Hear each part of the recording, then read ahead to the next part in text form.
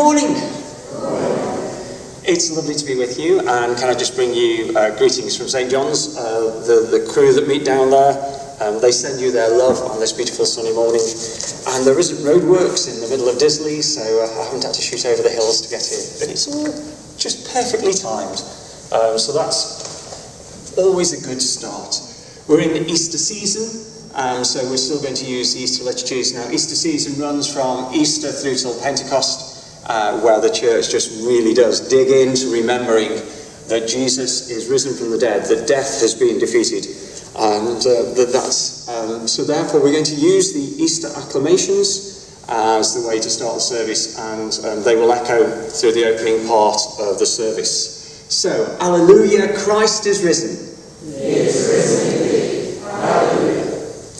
As we look through today's service, uh, we're going to be focusing again on Isaiah, and uh, it's the passage that says, uh, How beautiful are the feet of those who bring good news, and, um, and invites us into that journey with God. And so, as we look to that passage, the, the next hymn that we're going to have really did echo there.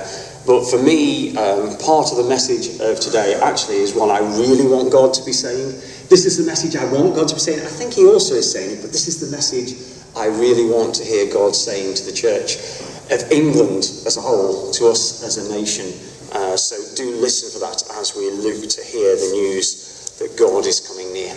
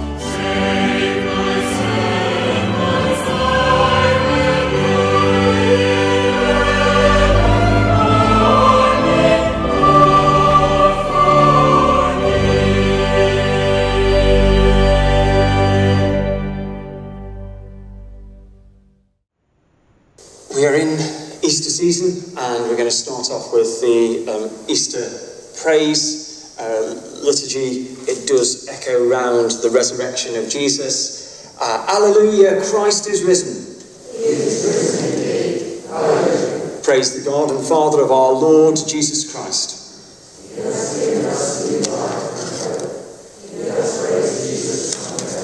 Alleluia, Christ. Is risen Living God, we thank you for this day of praise and celebration.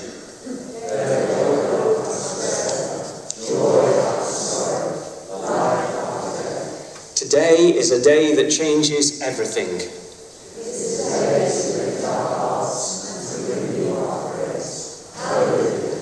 And as we journey through Easter season, it's probably worth reminding you of the story I think I've shared with you about when I was a curate. And I was a curate in Shrewsbury, and one of the people left the church.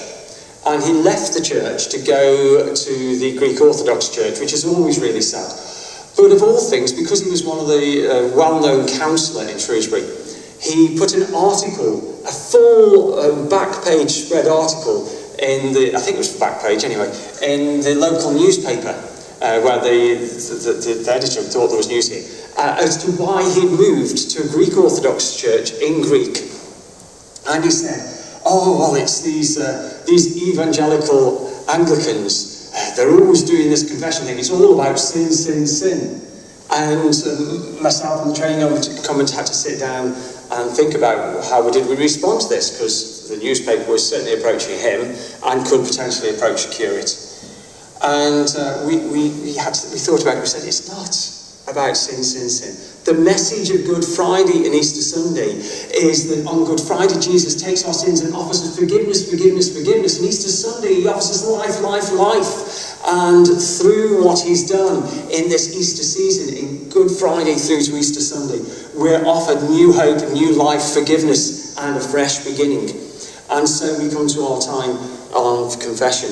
Jesus Christ, risen Lord, we come to you in sorrow for our sins and confess our weakness and unbelief. Like Mary at the tomb,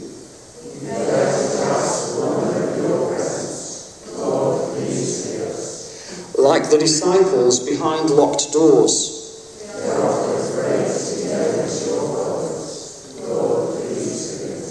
Like Thomas in the upper room.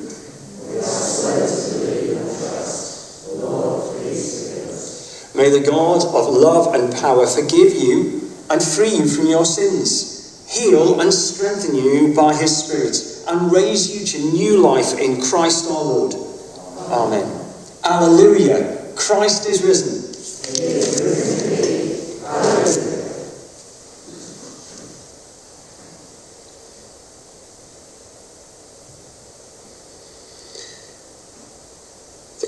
the sort of prayer that helps to collect our thoughts today is written for us. Almighty God, who through your only begotten Son, Jesus Christ, have overcome death and opened to us the gate of everlasting life.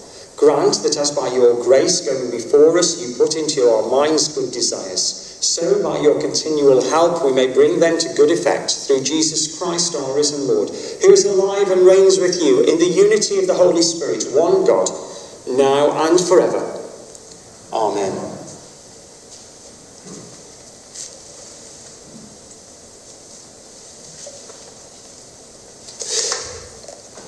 It's good news that everything is restarting again. And first of all, we have weddings starting to be booked. And so uh, Terry and Rachel stand up. And Tom and Megan stand up. So these are two wedding couples, one getting married here, one getting married elsewhere. Um, so I publish the banns of marriage between Terry Robert Johnson and Rachel Elizabeth Thompson, both of this parish, and between Tom William Connell and Megan Pitchers, also both of this parish. These are all for the first time of asking. If anybody knows of any reason in law why these persons may not marry, they're to declare it now. So let's pray for them. Father, we thank you for Terry and Rachel and for Tom and Megan and the love that is growing between them and is going to flourish into marriage. We pray your blessing on them between now and their marriage day, that they will know you close in every breath of their lives and that your love is binding them together. Amen. Please sit. Sorry, when I invited you to come, I didn't say I was going to embarrass you, but I did you say I should have, I should have asked your permission beforehand. I'm sorry. These, these are regulars, so it doesn't matter if I embarrass them.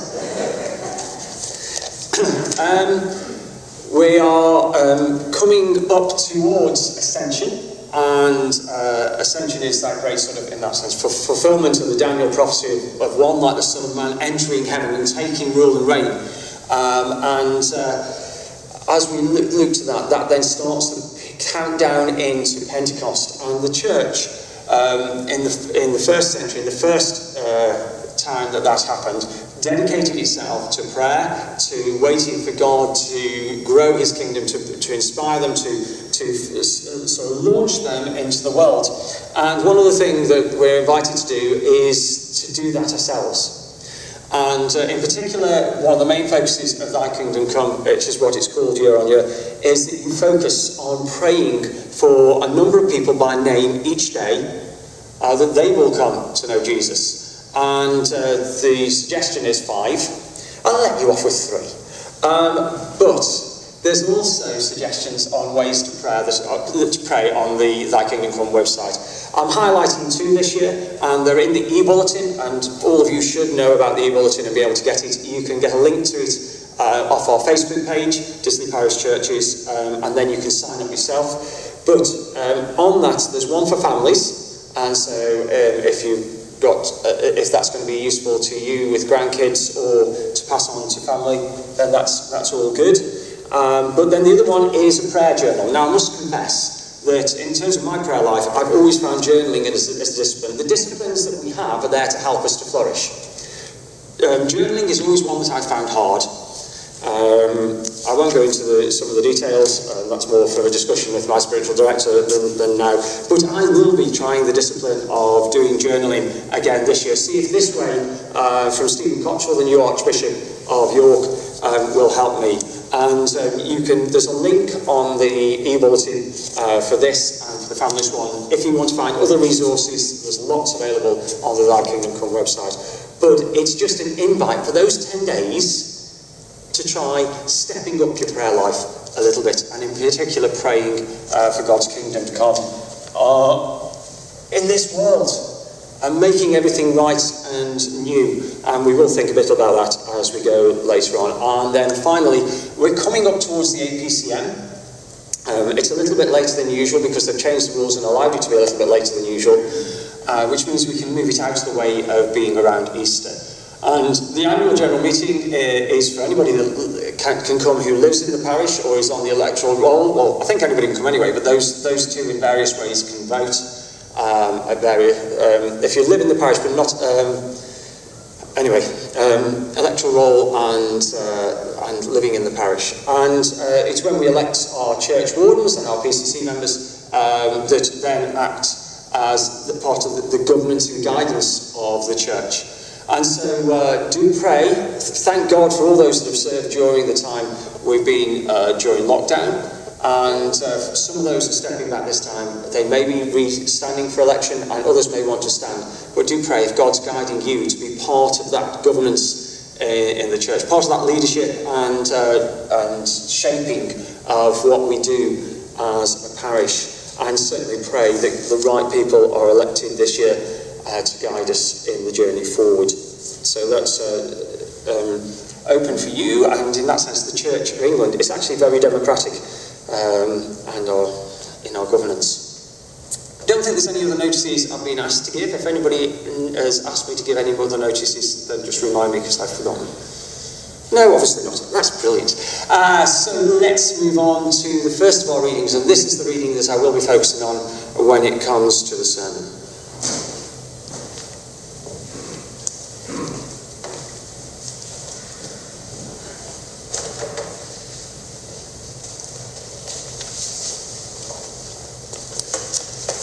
First reading is from uh, the book of Isaiah, chapter 51, starting at verse 12 and running through to chapter 52, verse 12. I, even I, am he who comforts you. Who are you that who are you that fear mortal men, the sons of men, who are but grass, that you forget the Lord your Maker, who stretched out the heavens and laid the foundations of the earth, that you live in constant terror every day because of the right wrath of the oppressor, who is bent on destruction. For where is the wrath of the oppressor?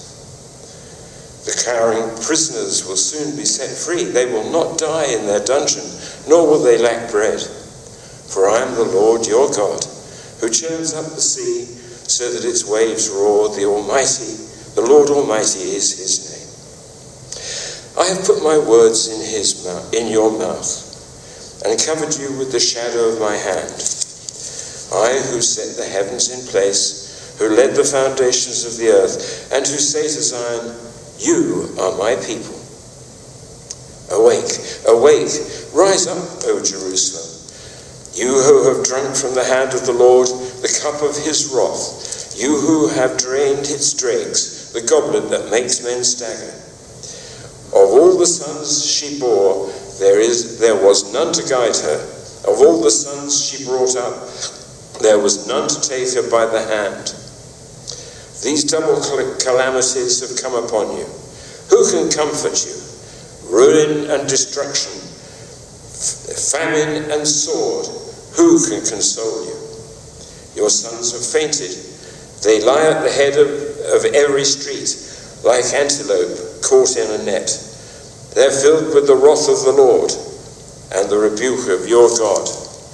Therefore, hear this, you afflicted one made drunk but not with wine. This is what your sovereign Lord says. Your God, who defends his people, see, I've taken out of your hand the cup that made you stagger. From that cup, the goblet of my wrath, you will never drink again. I will put it into the hands of your tormentors, who said to you, Fall prostrate, that we may walk over you and, and you made your back like the ground, like a street to be walked over. Awake, awake, O Zion. Clothe, clothe yourself with strength. Put on your garments of splendor, O Jerusalem, the holy city. The uncircumcised and defiled will not enter you again. Shake off your dust. Rise up. Sit enthroned, O Jerusalem.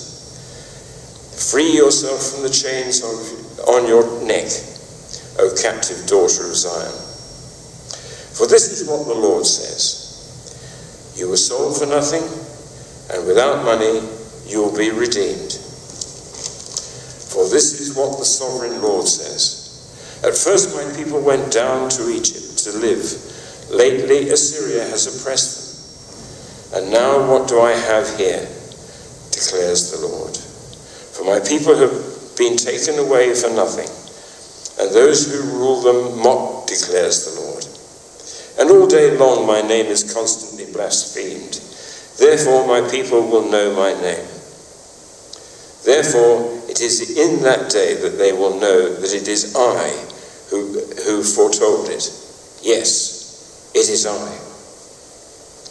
How beautiful are the mountains in the, on the mountains are the feet of those who bring good news, who proclaim peace who bring good tidings, who proclaim salvation, who say to Zion, Your God reigns. Listen, you watchmen, lift up your, their voices. Together they shout for joy. When the Lord returns to Zion, they will see it with their own eyes. Burst into songs of joy together, you ruins of Jerusalem. For the Lord has confronted, has comforted his people and he has redeemed Jerusalem. The Lord will lay bare his holy arm in the sight of all the nations, and all the ends of the earth will see the salvation of our God. Depart, depart, go out from there, touch no unclean thing, come out from it and be pure, you who carry the vessels of the Lord. But it is but you will not leave in haste or go in flight, for the Lord will be with you. The God of Israel will be your near your rear guard.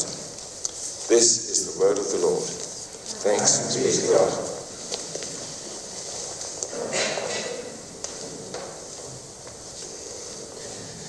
Now the Gospel reading.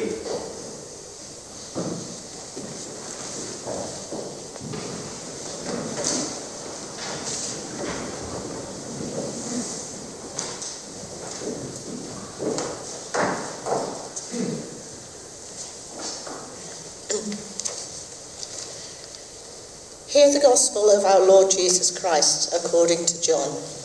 Glory to you, The gospel reading is taken from John chapter 15, verses 1 to 8. I am the true vine, and my Father is the gardener. He cuts off every branch in me that bears no fruit, while every branch that does bear fruit he prunes, so that it will be even more fruitful. You are already clean because of the word I have spoken to you. Remain in me, as I also remain in you. No branch can bear fruit by itself, it must remain in the vine. Neither can you bear fruit unless you remain in me.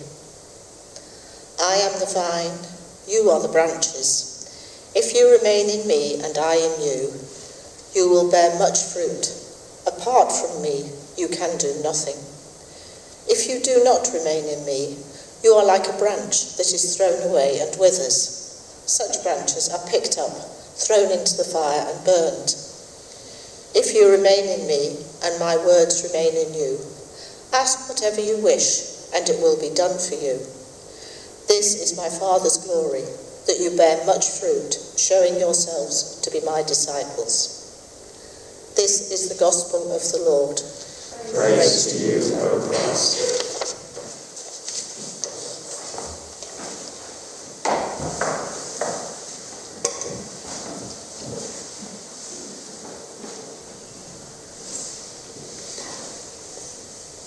Father, speak to us again through your Spirit that we may be drawn into the full life of Jesus. Amen. Please sit.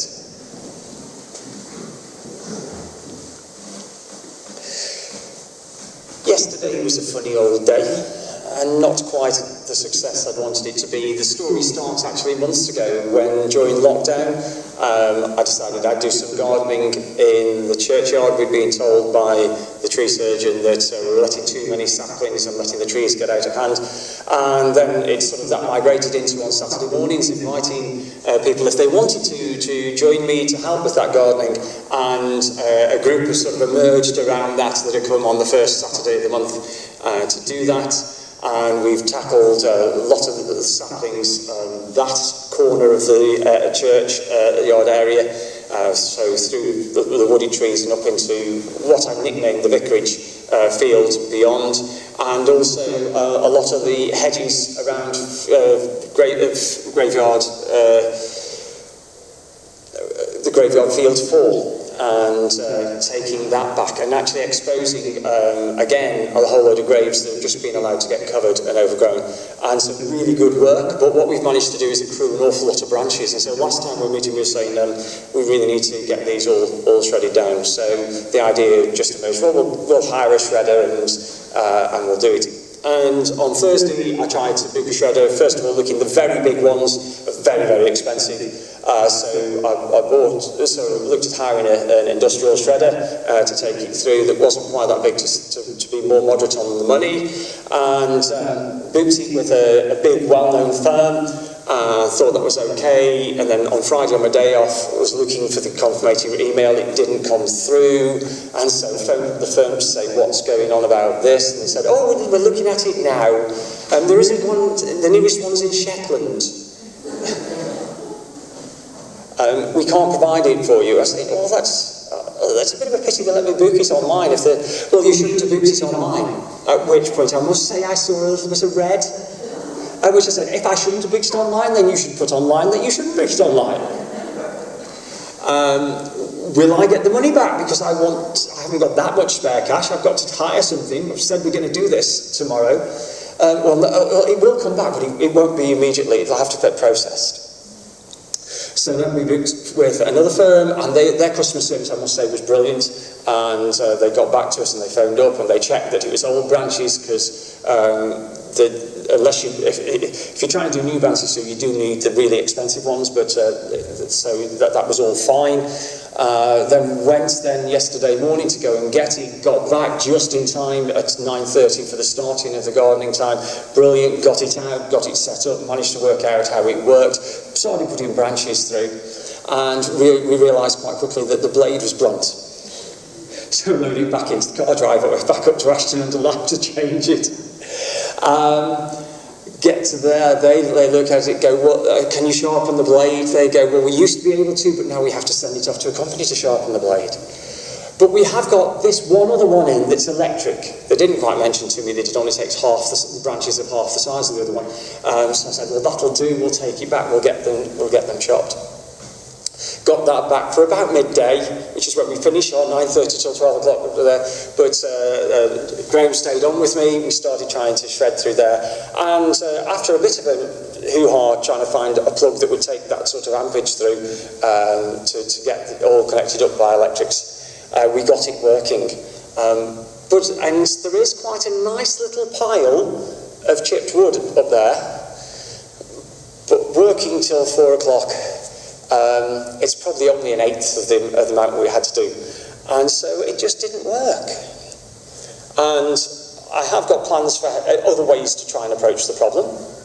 Um, and a big thank you to all the gardening teams that have been doing an absolutely amazing job. You can see the piles of branches that we've managed to accrue if you take a walk, walk up there, and we will get them dealt with, and it will look a lot better. And actually, people are commenting being cared for. Uh, the church and church, the churchyard is looking better. It is a better, better witness to our community. But overall, you probably feel a bit deflated. Because actually, we're used to in the West, we've been conditioned to have um, stories and narratives that finish on success.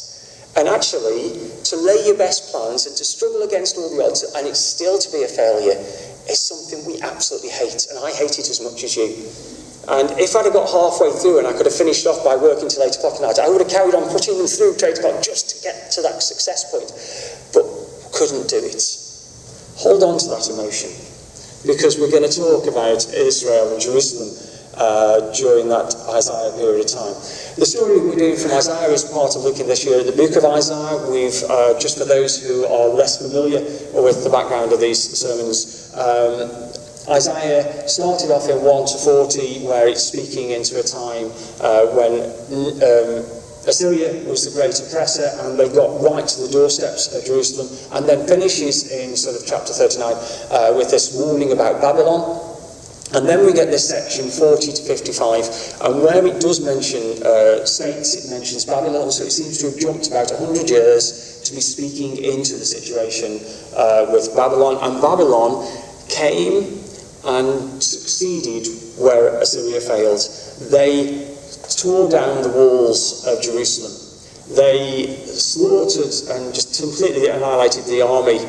Uh, the king tried to escape and uh, was caught.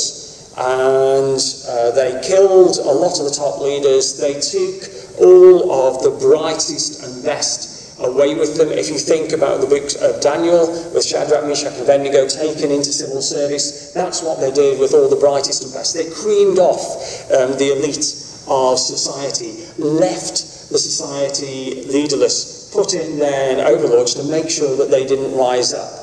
And so they ended up, in that sense, completely bowed down.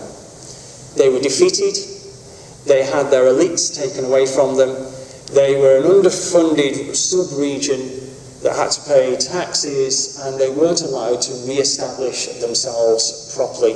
They lived under the governments of others who brought their propaganda with them. I don't know if you can imagine something like that in modern day, but when people talk about the north-south divide and that all the wealthy jobs are in London and everybody has to migrate there and it leaves the poorer north, um, it's that times 10 or 100, one would guess. And they were totally um, at a loss In fact, um, the main story in the Bible for what's happening for the people of Israel is carried by the exiles. The exiles write the beautiful psalm, By the rivers of Babylon, there we wept when we remembered Zion.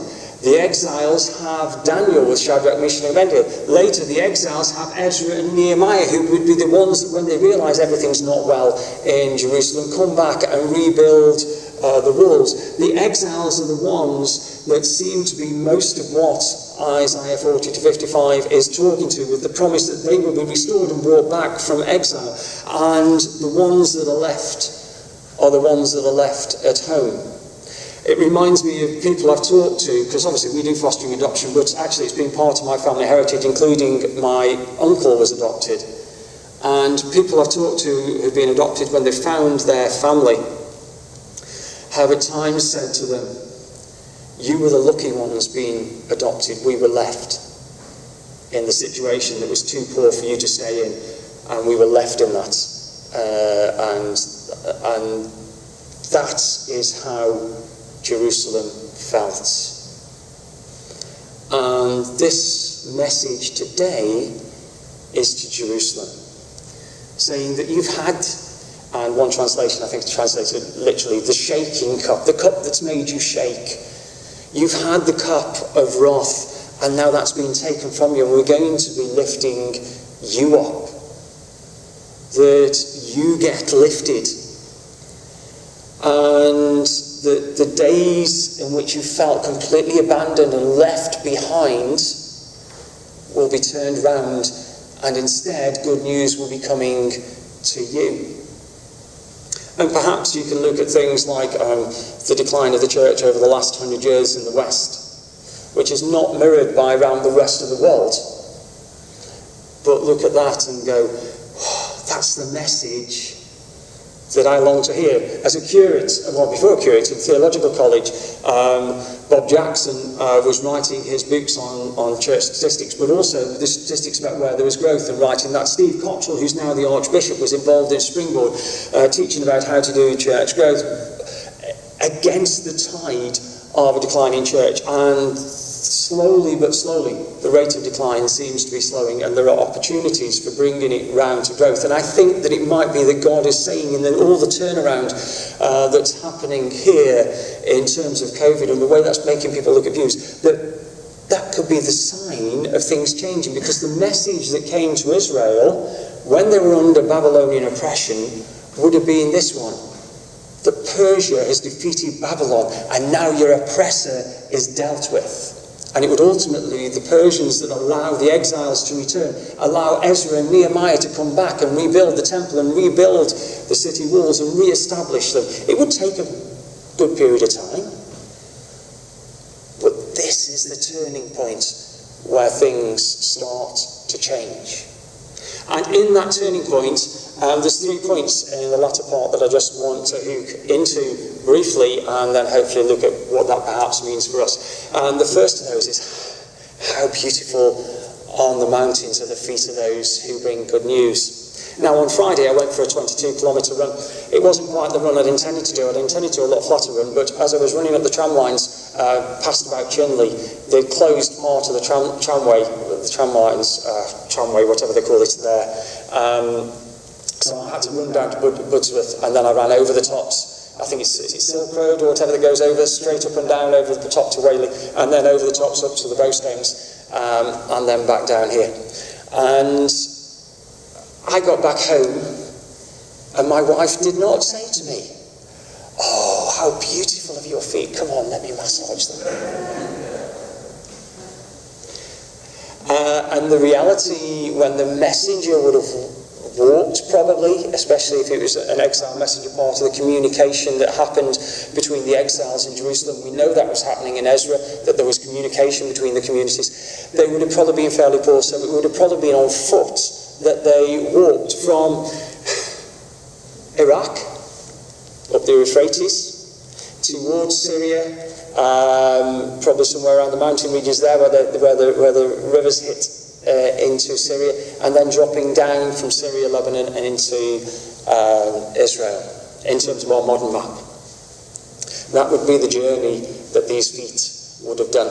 It would have been on dry and dusty roads. It would have been on roads that uh, probably, uh, especially as dry as that area is, the main form of moisture was the moisture produced by the animals that travelled along them.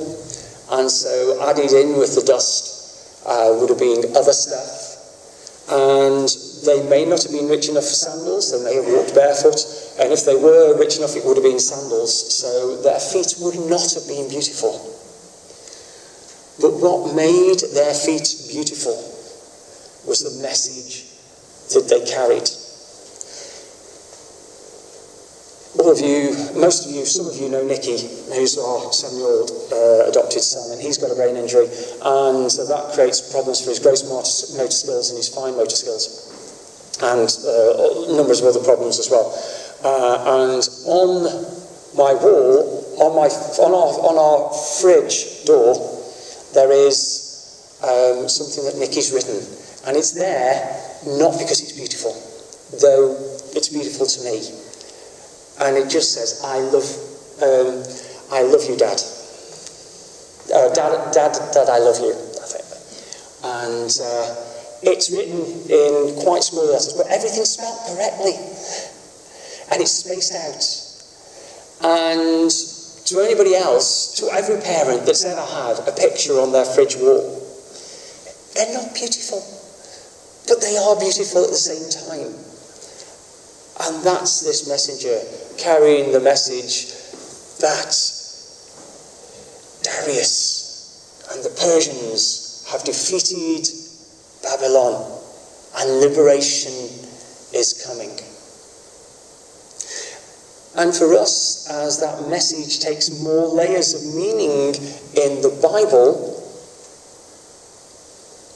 we can't help but think about how beautiful are the feet that bring good news that sin is defeated, death is defeated, and we are offered forgiveness and hope. And those feet, as you can just about make out crucifixion scene there, are pierced by nails and covered in their own blood. As Jesus' beautiful, beautiful feet are covered in gore but bring a message to us that God's forgiveness and God's life is for each of us.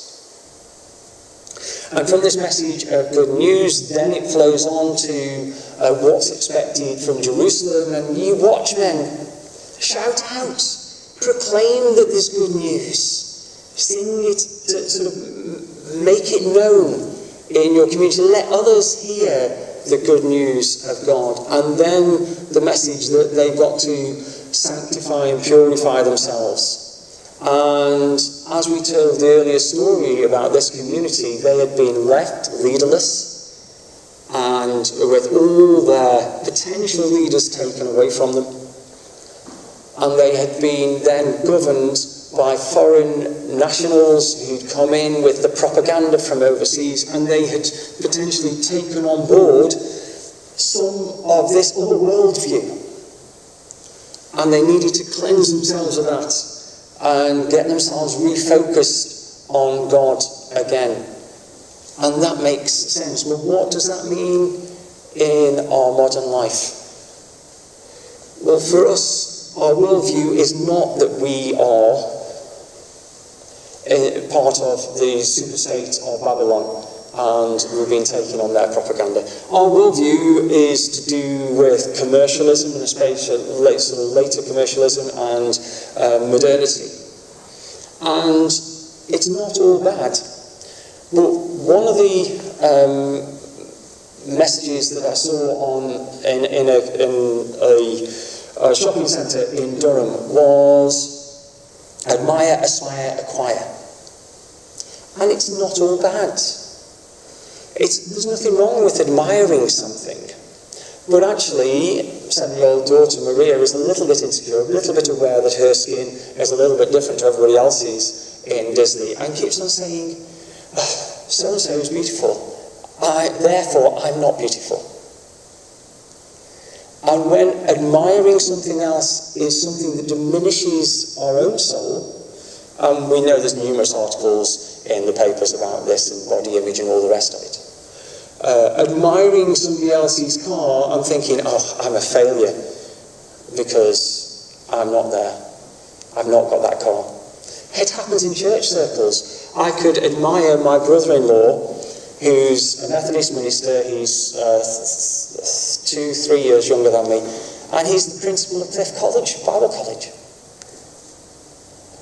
Does that diminish me? And the biblical answer is no, that doesn't diminish you.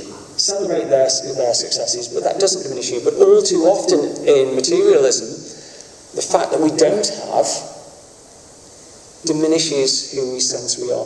Adm- uh, admire, aspire, then you've got to get it. You've got to aspire to that. There's nothing wrong with aspiring. But rather than aspiring to climb a ladder, find we're at the top and nowhere else to go and we don't want to be there, what God calls us to is to aspire to be everything God made us to be. And that may be that we're called not to climb, but to care for the sick and the vulnerable. And that's the shape that God's made for us. And so often in our society, what we're told what we have to aspire to, and we don't realise that God actually calls us to aspire to be like Jesus and shaped the way he's made us individually to be. And that we find true freedom when we find that. And a choir that we've got to get more in. But how often uh, do you get somebody that's mega rich? Freddie Mercury making comments about he still hasn't found what he's looking for. He still hasn't found what would give his life meaning. And that comes up time and time again in people who've got there, got seem to have everything, but then commit suicide or talk about their struggles with depression as it doesn't give them what they want. Whereas actually what we're called to acquire is a relationship with God, of love with God, and a relationship of love with each other. And so I'm not saying that materialism and modern world is all bad. But it may have tinted glasses that to echo what God was saying to Babylon perhaps echoes to us. And sometimes we need to take those glasses off and take a fresh look at the world and go, am I actually in the right place doing the right thing? Where should I be? Do I want to buy into that? And one of the strange things is, and I had a conversation with somebody again this week, it's happened a number of times, and this person um, actually described themselves as a Christian atheist later on in the conversation. I hadn't thought they were a Christian at all, but um, a Christian agnostic, sorry. Um, but he said, um, going through lockdown and having to be furloughed and all the rest of it, and realising that I've got my mortgage paid off, I'm, I'm not going to go back to working full time anymore. I don't want to be on that rat race uh, feel like they're on the, the, the, sort of on the hamster wheel, just going round. There's something else that life's worth, and that's why I think there's a change coming where we're starting to question some of modernity, some of um, materialism, and saying actually it doesn't bring us fulfillment. But the good news for us in Christ is that in Christ we do find fulfillment as we find love with God and love with each other and community. And so we can work our way back through. Therefore, we are called to be watchmen on the city walls, looking for the good and the signs of good things that are happening, and calling out when we see something good. And it may be something good in church, and it may be that once in a while the vicar's um, midweek uh, thoughts hit the button and you want to like it and you want to repost it and you want to say something about how it's, it's spoken to you. But it may also be good things that we see out there in the world and naming the good and lifting people up with watching out for the good news that's coming. And maybe we're also called to be good news bearers to others. It's our feet that are the beautiful feet that will carry messages to somebody else when they're down and say, there is hope, there is a fresh start, that God does love you, that God is holding you, that yes, it has been a tough year. But the year of the difficulty is passing and something new is coming and there's new flowers growing and so new things will emerge in life and bringing hope in despair. And sometimes hope and despair is, in the Ecclesiastic sense, sitting with somebody while they're sad, for as long as they're sad, and weeping with those who weep.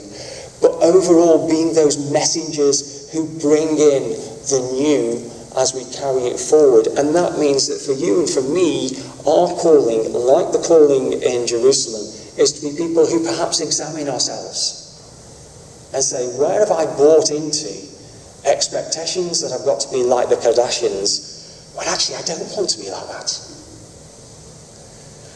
And where can I look and see signs of hope that I can just proclaim to others, say, that's good news. It's great news that through lockdown we've still taken out to the elderly the long table lunch meals. It's great news that we have moved online and still been able to communicate into one of the local nursing homes, even though nobody's been allowed in there. It's good news that we've collected food for those who needed it in Stockport through Wellspring and have given that out.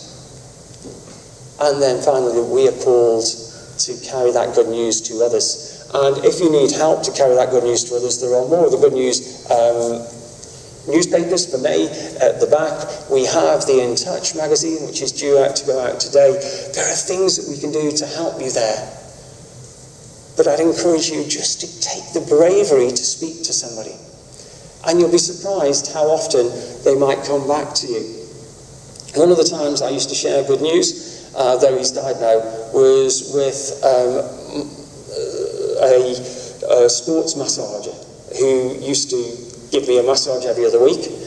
And he'd be putting his elbow up my spine, and he'd go, So, what exactly is it Christians believe about death? And I'd be going, Oh, you want to talk about that now? And he'd say, Yes. but actually, if we're brave enough to let it be known out there.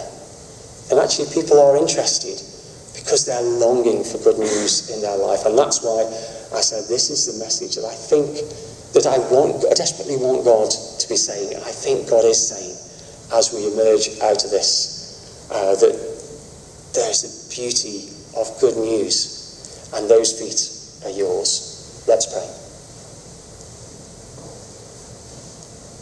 Father God, we thank you uh, for Isaiah speaking nearly 3,000 years ago now, but still speaking to us today.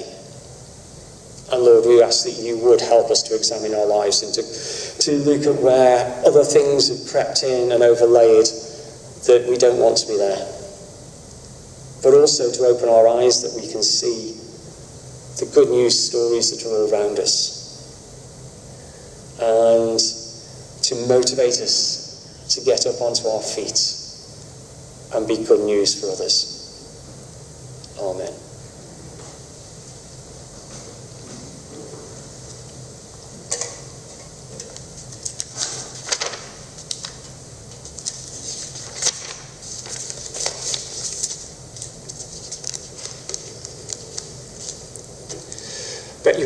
If I was taking your service. I'm going to preach like this in my wedding service, but I don't preach this long in wedding services. Which Terry is really thankful for. Though it's actually Margaret doing your service, isn't it? So she might preach this long.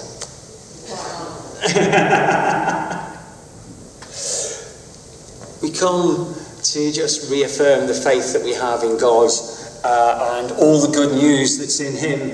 And part of the creed actually is almost good news, good news, good news that God made heaven and earth, that God is the creator, that God loves us, that God sent his son. All those things are good news that we have. So please stand with me and we'll say together the Nicene Creed.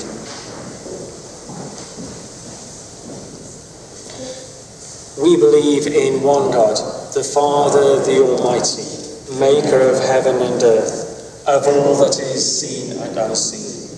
We believe in one Lord Jesus Christ, the only Son of God, eternally begotten of the Father, God from God, light from light, true God from true God, begotten, not made, of one being with the Father. Through him all things were made. For us and for our salvation, he came down from heaven, was incarnate from the Holy Spirit and the Virgin Mary, and was made man. For our sake he was crucified under Pontius Pilate. He suffered death and was buried. On the third day he rose again, in accordance with the Scriptures. He ascended into heaven is seated at the right hand of the Father. He will come again in glory to judge the living and the dead, and his kingdom will have no end. We believe in the Holy Spirit, the Lord, the giver of life, proceeds from the Father and the Son, who with the Father and the Son is worshipped and glorified, who has spoken by the prophets. We believe in one holy, Catholic, and Apostolic Church. We acknowledge one baptism for the forgiveness of sins. We look for the resurrection of the dead and the life of the world to come. Amen. So please sit as we continue with our prayers.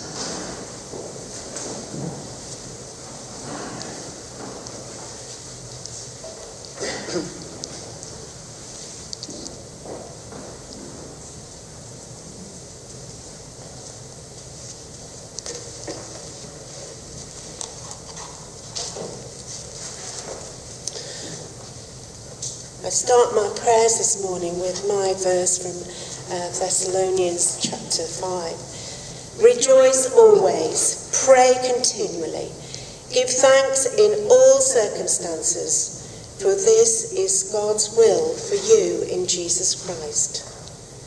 Let us pray for the church and for the world, and let us thank God for all his goodness. Almighty God, our Heavenly Father, you promised through your Son, Jesus Christ, to hear us when we pray in faith. Continuing with the thoughts that it's the Easter season, the responses this morning to Risen Lord, hear us are Risen Lord, graciously hear us.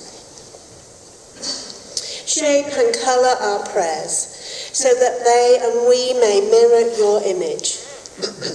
Reveal to us your will and grant us grace and wisdom to know our weaknesses and our strengths.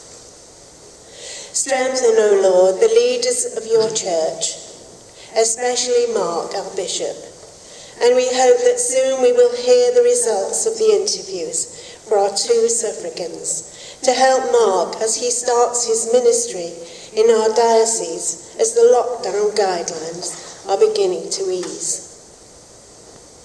We give thanks for our leaders here in Disley Parish, for Stuart, our vicar, and his ministry team.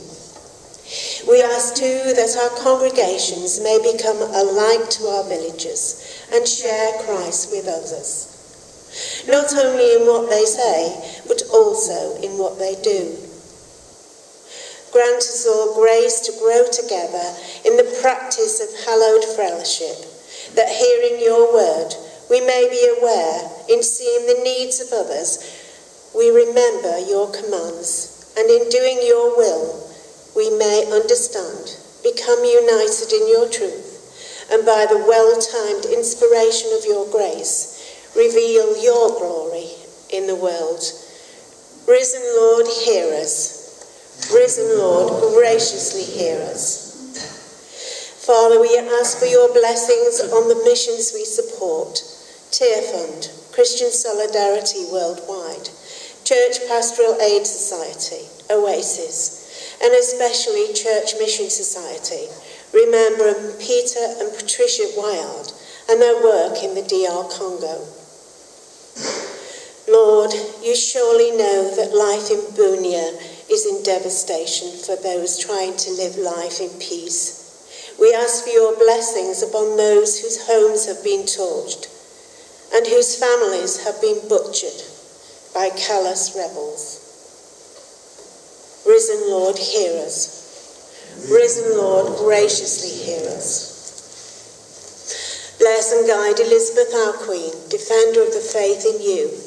Her loyalty to you and to the position she holds is an inspiration to us all. Guide her, Lord, in all she does as she continues her life without the man she so loved. We ask for your guidance in all decisions of our government. Give them wisdom to focus on the life-threatening issues in hand and not to let the political power struggle between parties overshadow the needs of their electorate. Help them all to distinguish between need and greed and so reward the dedication of honest and skilled activities, that they may honour one another and seek the common good. Risen Lord, hear us. Risen Lord, graciously hear us. Lord of all grace, we know the needs, you know the needs of all of us before we think or ask. We give thanks for our families and friends, both near and far. Help us to be good servants to those who may need our help, and also to share in loving fellowship with, with them to, whenever they are, we are able. During these days of lockdown, we have all wearied of time spent indoors. But Lord, we have so much to be thankful for, and know we need to count our blessings for all the good things we in this community are able to enjoy. We know there are so many less fortunate than us, and ask not only for your help among them, but that we are able to be aware of their needs and give freely. They are our brothers and sisters in your name. Let us be vigilant in their possible needs and meet together in your love, responding to your Holy Spirit of truth. Risen Lord, hear us. Risen Lord, graciously hear us. Almighty God, we bring before you those who suffer in body, mind, or spirit. Silently, we name those in our hearts this morning.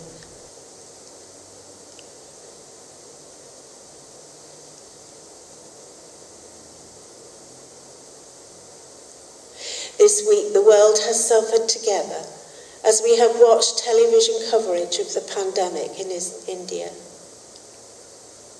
we have seen the sad incident in Israel. We continue to ask for help for the Palestinians in the West Bank and Gaza who are without work, without financial support, and without vital vaccines. We think of the family and friends of Jimmy who jumped into the Thames in an attempt to save the life of someone he will never know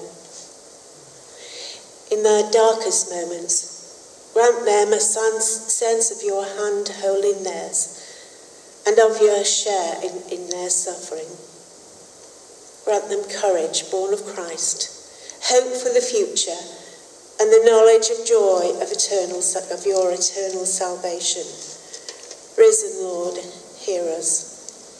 Risen Lord, graciously hear us creator and sustainer of all, past, present, and future, hear us as we remember those who have died. In our hearts, we name, we name those known personally to us, and for whose uh, anniversary we may recall.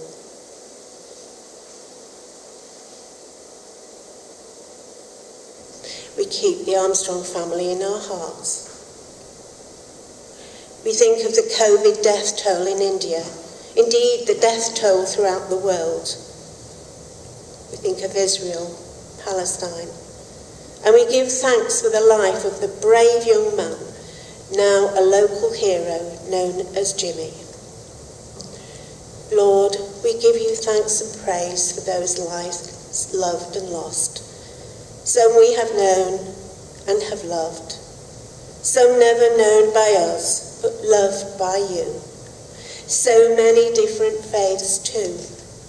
May they all rest in peace. Risen Lord, hear us. Risen Lord, graciously hear us. Jesus said, I am the vine. You are the branches. Anyone who dwells in me, as I dwell in him, bears much fruit. Apart from me, you can do nothing. Let us take those words out to our, our community.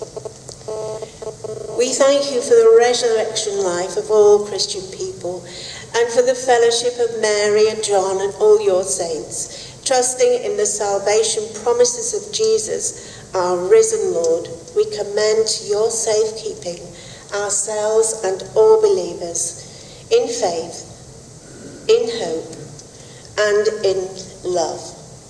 Merciful Father, accept these prayers for the sake of your Son, our Saviour, Jesus Christ. Amen.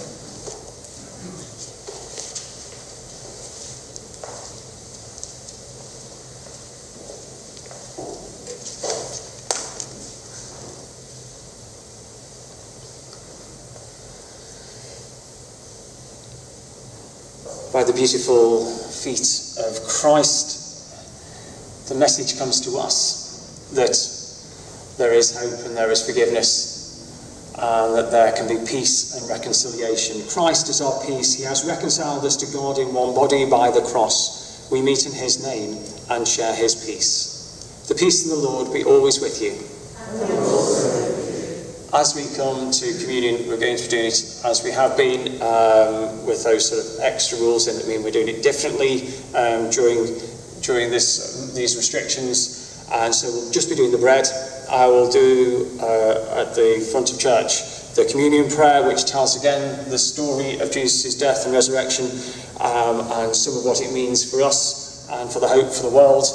And then um, we'll share communion here at the front. I will I'll have my mask on. I won't say institutional words, any words then as I give communion. We'll do that in silence. And I invite you to sort of come up, coming up the centre aisles, out, back, and obviously joining in that sort of flow at the right point for you. And I'll probably start here at the front, coming first with Rachel and Terry, and Peter and Jane.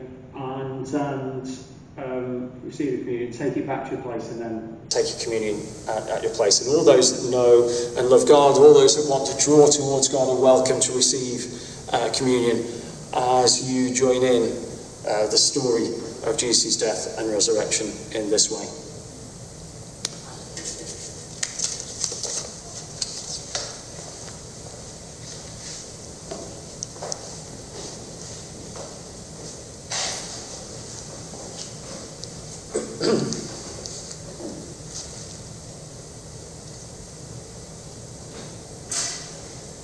The Lord is here.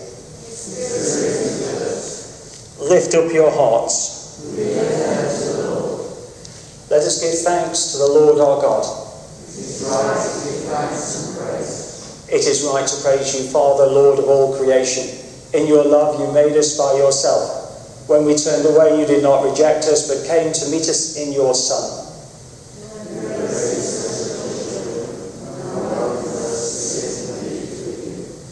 On the night he was betrayed at supper with his friends, he took bread and gave you thanks. He broke it and gave it to them, saying, Take, eat. This is my body which is given for you.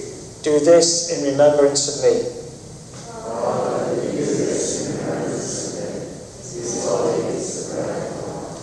At the end of supper, taking the cup of wine, he gave you thanks and said, Drink this, all of you. This is my blood of the new covenant, which is shed for you for the forgiveness of sins. Do this in remembrance of me.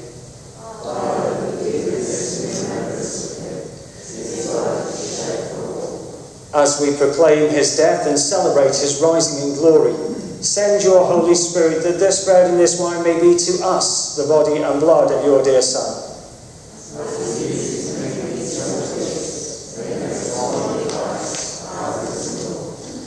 With your whole church throughout the world, we offer this sacrifice of praise and lift our voice to join the eternal song of heaven. Holy, holy, holy, God of power and might, heaven and earth are full of your glory. Hosanna in the highest. As our Saviour taught us, so we pray. Our Father in heaven, hallowed be your name. Your kingdom come, your will be done on earth as in heaven. Give us today our daily bread. Forgive us our sins as we forgive those who sin against us. Lead us not into temptation, but deliver us from evil. For the kingdom, the power, and the glory are yours, now and forever. Amen.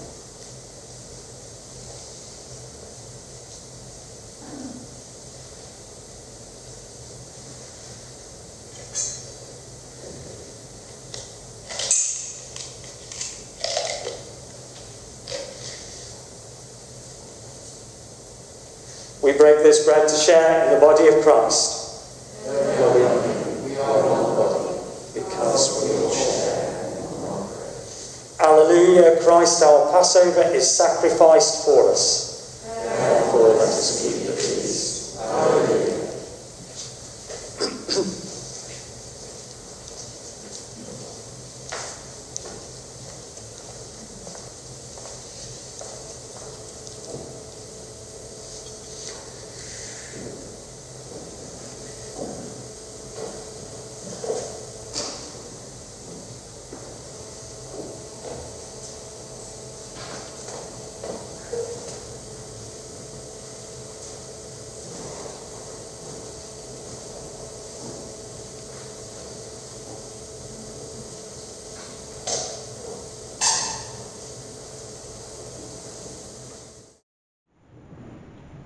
We say together, Almighty God, we thank you for feeding us with the body and blood of your Son, Jesus Christ.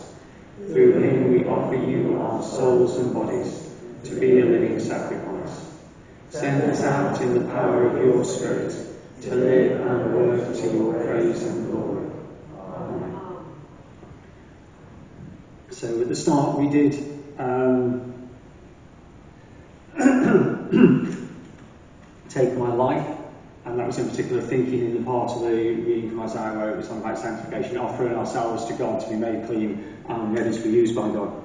But also in the reading we picked up, and it's not particularly in the NIV that we read, but is one of the names for God, God of the angel armies, and that theme generally that God is on our side and God is coming and can move mountains and can uh, overcome the difficulties that we face. And so we're going to use this newer song um, as we finish our service, just to remind ourselves that God is on our side.